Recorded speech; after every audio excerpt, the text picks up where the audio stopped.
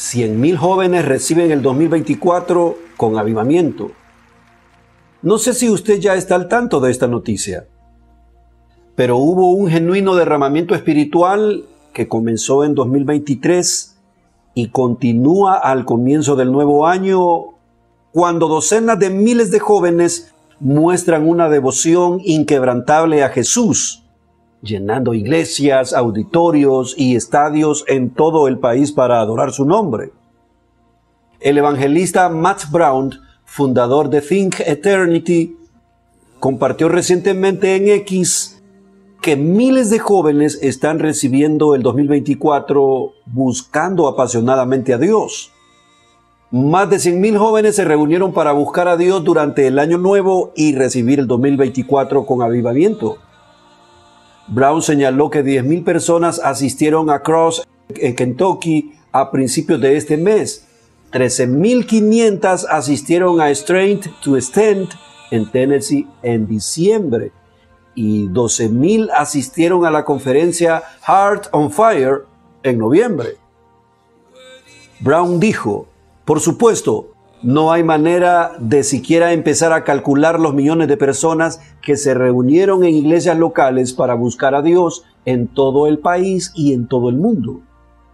Además, informó que más de 55 mil jóvenes adultos se reunieron en Atlanta, Georgia, la semana pasada para adorar a Jesús, profundizar en la palabra de Dios y aprender cómo ser luz en su generación en la conferencia Pasión 2024. Se trata de Jesús, dijo. Esta afirmación sonó eh, especialmente cierta durante un servicio de adoración cuando decenas de miles siguieron cantando Digno es el Cordero durante minutos, mucho después de que la banda dejara de tocar. El youtuber Noad Buchanan dijo, trato de no dejarme llevar por la música alta y las luces brillantes, porque entonces es solo una experiencia emocional e interfiere con la adoración genuina. Pero cuando la música se detuvo y todos cantamos, sucedió algo especial. La experiencia que tuvimos fue fenomenal. Algunas personas se rieron, otras lloraron. Podría haberse quedado allí durante horas. El doctor Malachi Bryan lo llamó una marca que ocurre una vez en una generación. El pastor Zach Newcrix, cuyo sermón en la Universidad de Asbury marcó el inicio de un derramamiento del Espíritu Santo de 16 días, descrito por muchos como avivamiento, ¿se acuerda? Es el primero en reconocer que lo que está ocurriendo es una verdadera obra del Espíritu Santo. Newcris dijo, el 8 de febrero, la generosidad de Dios se derramó sobre una pequeña universidad. No fue una buena predicación, eso es seguro. Le envié un mensaje de texto a mi esposa después de predicar que pronto estaría en casa para tomar una siesta. No llegué a la casa para tomar una siesta. Durante 16 días fue el derramamiento de Dios de su espíritu. Fue sorprendente. Su paz, su paciencia, su bondad, su gentileza, su humildad estaban entre nosotros y el ego era ofensivo. No puedo llegar al altar lo suficientemente rápido para deshacerme de nuestros pecados. Los estudiantes encontraron a Dios. Mucris añadió que vale la pena luchar por lo que está ocurriendo ahora. Hemos escuchado historias de estadios en Pakistán, Israel y en todo el mundo. Gente que simplemente busca su rostro y permanece en su presencia porque vale la pena, dijo. Newcris y Paul Wister, director colegiado nacional de la Junta de Misiones Norteamericanas, organizarán un foro el 23 de enero para explorar formas de continuar este movimiento entre la generación Z. Shane Pruitt, director nacional de próxima generación de la Junta de Misiones Norteamericana, eh, permítame, ¿cuál es la sigla de esto? A ver. Guárdeme porque es mucha información. Bueno, es, las siglas son NAMB publicó recientemente un estudio bíblico a través de Lifeway Christian llamado Revival Generation. ¿Con qué objetivo?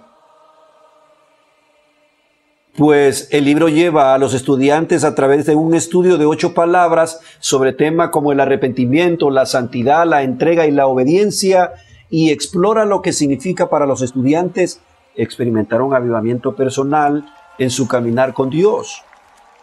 Priut dijo que en julio cree que los cierres y descripciones de la pandemia del COVID-19 marcaron el comienzo de un cambio espiritual entre la generación Z. Priut dijo, la pandemia no creó nuevos problemas para la generación Z, pero creo que avivó algunos problemas que ya estaban allí. Hay toda una generación que ha llegado al final de sí misma a una edad mucho más temprana. Están buscando esperanza y respuestas. Siguió añadiendo, podemos deslizarnos con el Evangelio y decir, la esperanza que estás buscando, la verdad que estás buscando, en realidad tiene un nombre y su nombre es Jesús. Permítame.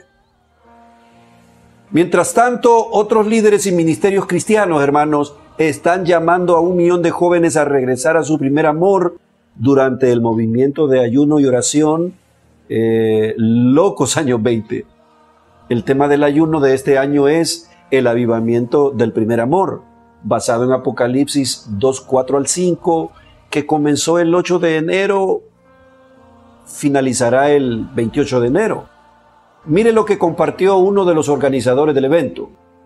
El primer amor por Jesús parece ser algo común entre lo que el Espíritu está, está haciendo ahora, ahora mismo en su iglesia la crisis en Israel, el malestar político en Estados Unidos y la cesación de oscuridad que intenta destruir a la iglesia están despertando a muchos a amar a Jesús, siendo la única respuesta para el momento en el que nos encontramos. El llamado a un millón de jóvenes a, a ayunar y orar es histórico, pero no debe referirse a una sola iglesia, líder, organización o denominación, sino más bien a un colectivo de creyentes jóvenes mayores que sienten que Dios está a punto de hacer algo histórico en el rugiente.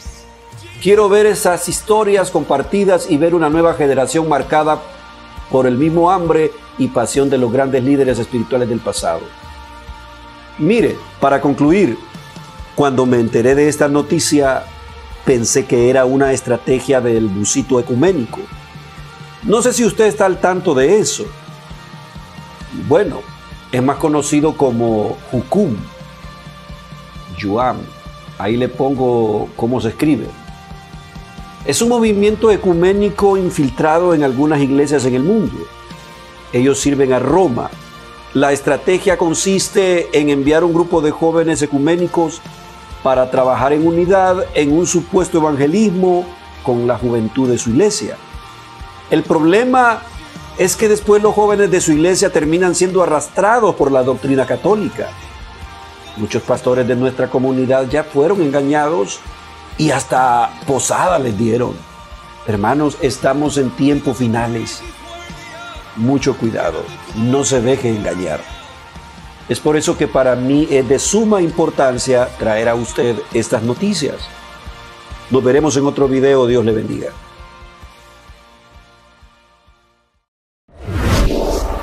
Just Productions. Brillando en la red.